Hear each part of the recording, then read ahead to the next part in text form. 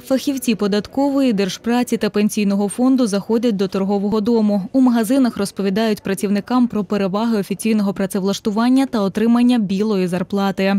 Розмір пенсії залежить від трьох складових. Перша складова, перший фактор це середня заробітна плата е, за останні три роки е, по Україні. Другий фактор це е, коефіцієнт стажу. Третя складова пенсії це коефіцієнт заробітку. Тому, коли людина е, отримує заробітну плату в конверті, вона позбавляє себе соціальних гарантій. Нелегальне працевлаштування негативно впливає на бюджети міста, адже вони на 90% наповнюються коштом податків від заробітної плати, говорять фахівці. Окремі суб'єкти господарювання ігнорують виконання свого прямого обов'язку і виплачують заробітну плату в конвертах.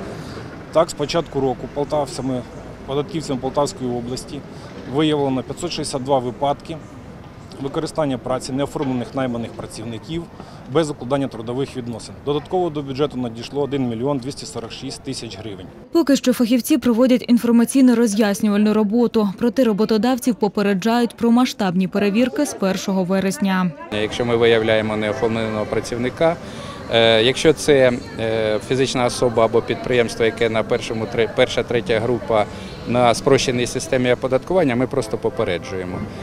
Але якщо це на загальних на загальне оподаткування фізична особа чи е, підприємство, ми е, виносимо штрафну санкцію у розмірі 10 мінімальних заробітних плат за кожного е, виявленого неоформленого працівника. За словами фахівців, за період карантину кількість працівників, які застраховані у пенсійному фонді Полтавщини, зменшилась. Аліна Боровик, Сергій Лещенко, телеканал Центральний.